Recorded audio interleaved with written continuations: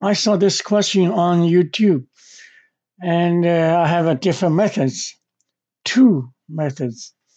So I would like to share with you. Now, given this, given uh, f of x sine 2x is tangent x, find f of x. First of all, I, I want to uh, add a, a restriction condition for the domain because this one is infinity when x is a half pi, right? Yeah, therefore x is not equal to half pi plus n pi. So I want to add this one to the domain of this function. Okay, then I start the method. The method is uh, well, it's uh, very clear that my idea is well, this is sine x cosine x. f over sine 2x is equal to tangent x. Now I want to change this in terms of uh, sine 2x. Then my function is found. You know, it's a, it's a very clear uh, goal that I want to change this one in, into an expression of a sine 2x. But we know that sine 2x is equal to 2 sine x cosine x. So sine x is equal to uh, is sine x is equal to sine 2x right over 2 cosine x. See? So I find that this one is equal to I replace this one by this is a sine 2x over 2 cosine square x. Yeah, this one replace sine x. And uh, it's very easy that this is a sine 2x. This is a this is a 1 plus cosine 2x, right? 2 cosine square is equal to this. Very easy. This is a sine 2x. This is 1 plus square root 1 minus sine square 2x. So I found the function. I've I found the function, right? Sine or f of a sine 2x is this. Therefore, f of x is equal to x over 1 plus square root 1 minus x squared. See? Could be done very easily. The only thing left of that, we usually we don't like the denominator has a has a root, has a square root. That's easy. We rationalize it by multiply by 1 minus the square root, 1 minus x squared, right? 1 minus square root, 1 minus x square root. So this one is equal to uh, x 1 minus 1 minus square root. This time this one it becomes 1 minus 1 minus x squared. So this one is equal to x squared x 1 minus 1 minus x squared. So this one is equal to x 1 minus square root 1 minus x squared. Yeah, this is this looks better. Overall, you know, this is not difficult question. You know, you must you must be clear that what is what is what do you want? The ideas in the beginning. Okay, this is method one. Method two. Uh, the method two, f of a sine 2x is tangent x. Well, I have added condition, right? x is not equal to half pi plus n pi. Now, the second uh, uh, second method, I I want to introduce uh, a function which is a y equal to sine 2x. Therefore, my given function is f of y is equal to tangent at x. I, I know that the dy dx is equal to 2 cosine 2x, right? Yeah. Now, if I if I differentiate both sides of this equation with respect to x, then this is a composite function. We need a chain rule, right? So this one, uh, df dy times dy dx is the derivative of this with respect to x. That is this. Well, this is equal to secant square x. And I know that dy dx is this. Therefore, df dy is equal to secant square x over uh, 2 cosine 2x. Now, from here, the idea is very clear that I want to change this one into an expression of a y, so I can find a y by integrating with respect to y. Yeah, well, well, I just walk toward, work towards that idea. Uh, well, how? It's easy. Uh, df dy, this one. Uh, this one, uh, I want to change it to y, right? What is y? y is sine 2x. So this one is equal to 1 over cosine square x. That is secant square, right? And it, yeah, this is a, this is a, this is a what? This is a 2 uh, square root 1 minus sine square 2x. Well, as I said that my idea is this, change this one into expression of y. Then I, I then I can find the f of, f of y by integrating both sides. Okay. Uh, this one is. To, this is a two two cosine square. What's what's what is what is a cosine two square? That is a one plus right.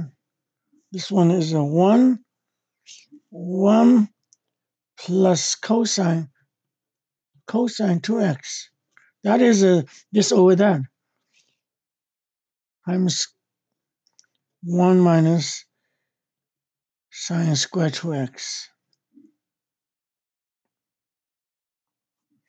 Then I change this one into sine 2x, which is y, right?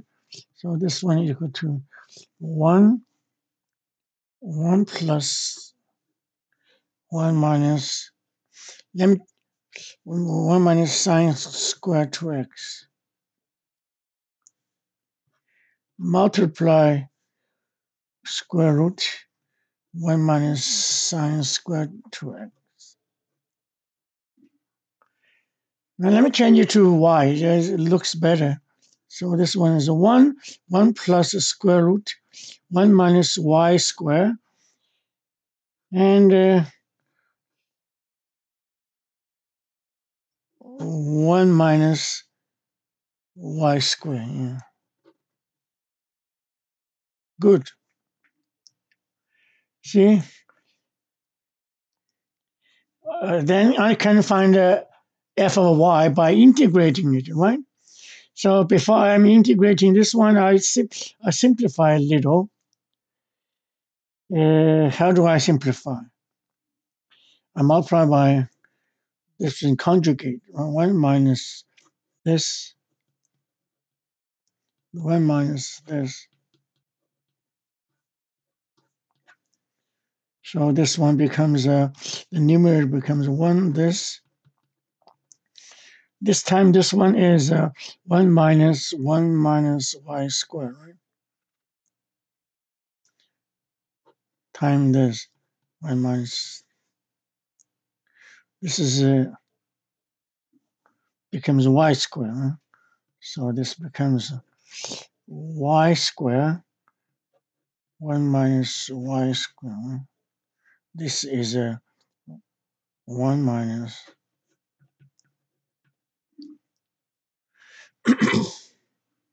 now I can find the f of y by integrating this one. Now for integration for this function, I'd better split into two, right? So this becomes this over that. 1 y square, 1 minus y square, that is first one, minus uh, 1 over y square, right? This is a df dy. Now I can find out f of y by integrating, right? By integrating this y square minus uh, dy y square uh, out of pen. y square. I call this is I1, this is I2 minus. well, now to integrate this, uh, dy y square 1 minus y square. That's easy. You must familiar with the trigonometric substitution, right? Let y be uh, sine theta. So this one is equal to cosine theta d theta. This is uh, sine square theta, right? This is uh, cosine. then this one is equal to d theta over sine square theta, which is equal to uh, cosecant square theta d theta. Now this integration is easy equal negative cotangent theta, right? Yeah. Now how to find the cotangent theta in terms of y? We'll use triangle. Right? This is triangle. This is theta. Sine theta is y. So one. So this one is equal to one uh, plus sine theta. Hmm. So cotangent is equal to no sine theta is y. Sine theta is y. So this is equal to one, right? Ah, I'm sorry.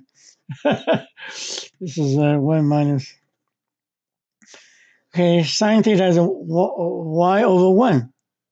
So this is this. Then the cotangent theta becomes uh, this over that is equal to uh, 1 minus y squared over 1.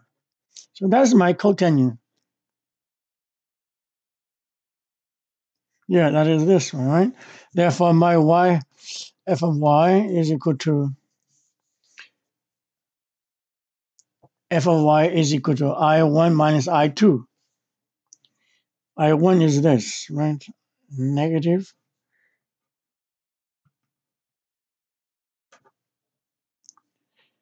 uh, I2. This integral is equal to 1 over I, 1 over 1 over y, right? Can you sign? It's a plus 1 over 1. Yeah, plus c. Okay, I found them. And then I'm, I put them together. Looks better. y, 1 minus 1 minus y squared plus c. Now, how, how do we find a c? We have to go back. We, we go back to this given equation, right? when, when x is equal to quarter pi, so this will be a 1, right?